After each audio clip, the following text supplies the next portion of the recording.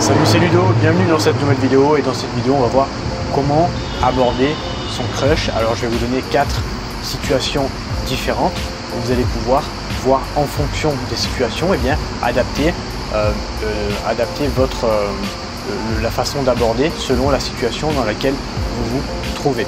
Alors avant de commencer la vidéo, je vais vous donner une définition un petit peu de qu'est-ce qu'un crush. Un crush en fait c'est un mot familier qui désigne le fait que vous soyez, soyez amoureux ou que vous kiffez une personne euh, sentimentalement, ok? C'est pas une relation d'amitié, c'est euh, une relation sentimentale on va dire. Mais après il peut y avoir différents niveaux de crush.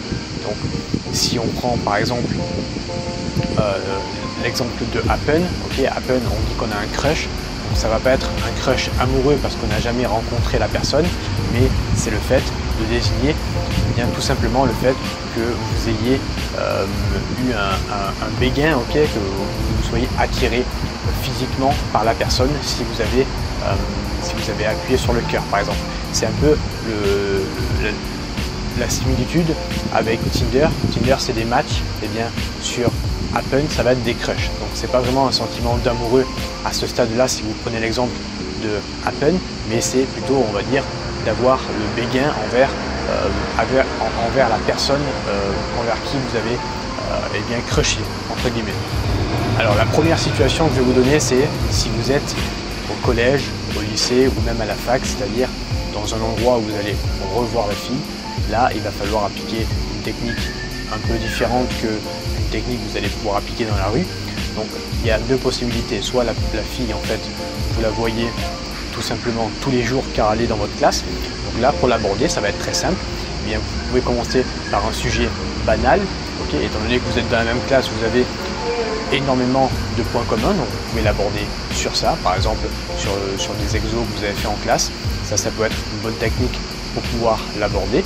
Et après, vous allez devoir mettre eh bien, tout simplement des émotions dans la conversation, une certaine sexualisation pour montrer en fait que vous n'êtes pas là pour être ami, mais pour avoir une certaine relation sexuelle avec cette fille. Donc ça c'est le premier point, ok? Si vous êtes dans la même classe, vous pouvez appliquer cette technique. Maintenant, si vous êtes tout simplement euh, pas dans la même classe, mais dans le même environnement, c'est-à-dire dans le même collège ou le même lycée, vous savez que vous n'allez peut-être pas voir la fille tous les jours, mais vous allez la voir souvent.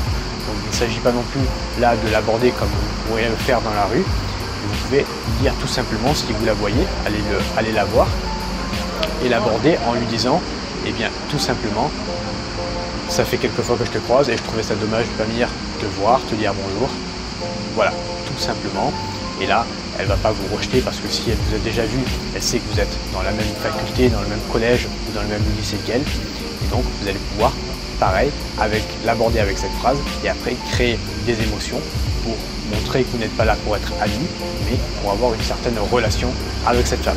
Donc, première étape, phrase d'approche. Deuxième étape, sur le moyen long terme, créer des émotions pour montrer vos intentions à la fille. Après, si vous voulez séduire dans des, environnements comme le lycée, le collège ou même la fac, dites-vous que c'est super important d'avoir un groupe, ok? Le fait d'appartenir à un groupe et d'être en plus, si vous êtes le leader du groupe, ça va rajouter quelque chose. Et si la fille vous voit dans un groupe et si la fille voit que vous êtes le leader, eh bien tout simplement, ça va être beaucoup plus facile de la séduire ensuite que si elle vous voit à chaque fois tout seul. Si elle vous voit tout seul euh, et, qu'elle ne vous voit pas entouré d'autres personnes, entouré d'hommes, entouré de femmes également, pour avoir ce principe de présélection, eh bien ça va être beaucoup plus dur que euh, ça va être beaucoup plus dur de la séduire si vous êtes tout seul que si vous êtes dans un groupe. La situation suivante, c'est dans la journée, donc dans, la rue, il y a deux types de phrases. Soit vous utilisez une phrase directe, soit vous utilisez une phrase circonstancielle. Donc une phrase directe, c'est quoi? C'est tout simplement aller la voir et lui montrer vos intentions, tout simplement. Euh, alors évitez euh, tous les compliments du style physique ou les compliments du style euh, je t'ai trouvé intéressante. Vous ne pouvez pas aller voir une fille et lui dire je t'ai trouvé intéressante si vous ne la connaissez pas. Vous pourriez dire par exemple, au lieu de dire je t'ai trouvé intéressante, lui dire je suis venu te voir pour voir si tu étais une fille intéressante. Donc je ne le sais pas encore, je suis venu voir vérifier. Donc c'est super important de faire cette distinction entre lui dire, lui donner un compliment et aller la voir pour voir si elle a ce que vous cherchez. Donc ça c'est la phrase directe.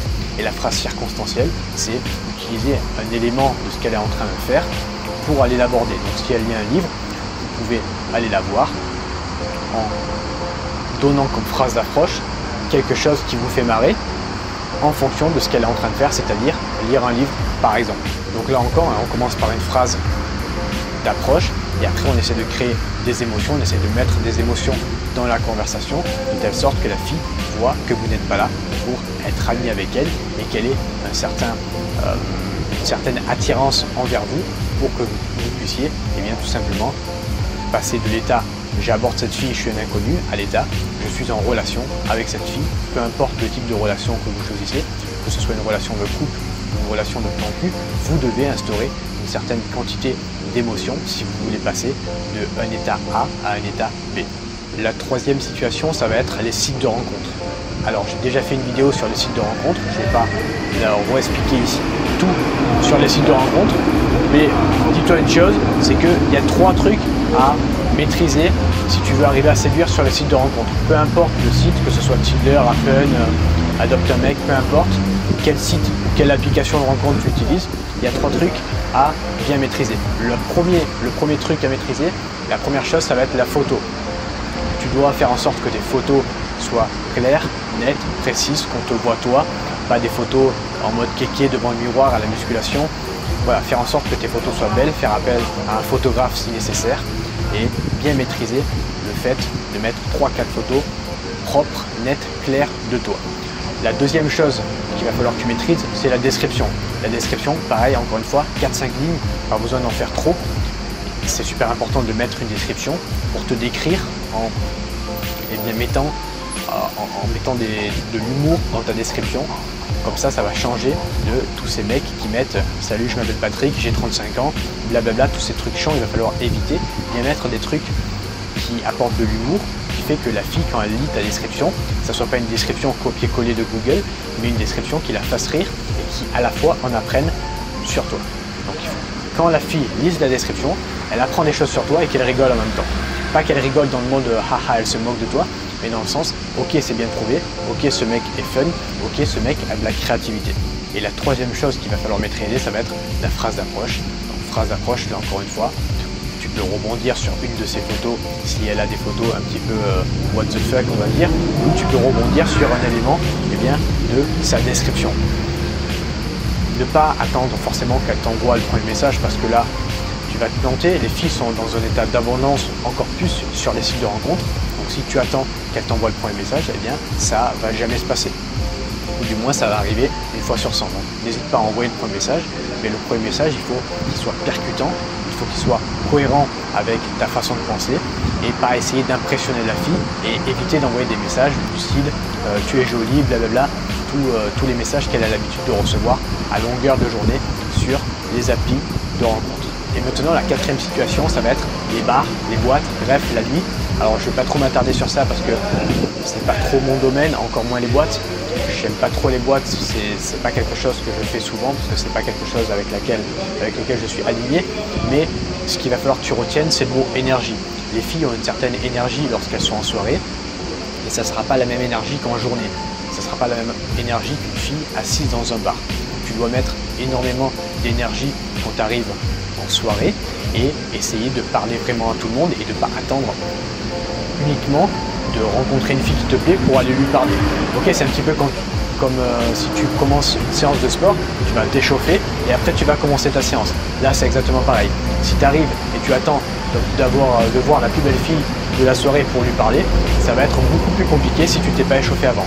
Donc, tu rentres dans le lieu, tu parles à tout le monde, le barman, le leader, les mecs, les filles moches, le monde, pas que les filles belles et pas attendre uniquement des filles belles. Donc voilà, ça c'est le point qu'il va falloir que tu retiennes pour en soirée, pour séduire en soirée, pardon, une bonne énergie et vraiment parler à tout le monde.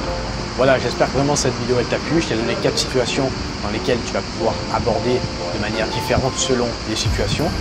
N'hésite pas à t'abonner si tu es nouveau sur cette chaîne et que tu, tu as envie et bien, tout simplement d'en apprendre plus sur ce sujet, donc séduction, sexe, développement personnel. Je t'invite également à regarder dans la description, je t'ai préparé une série de trois vidéos complètement offertes qui vont t'expliquer comment tu peux conclure avec une fille lorsque tu n'es pas forcément débutant.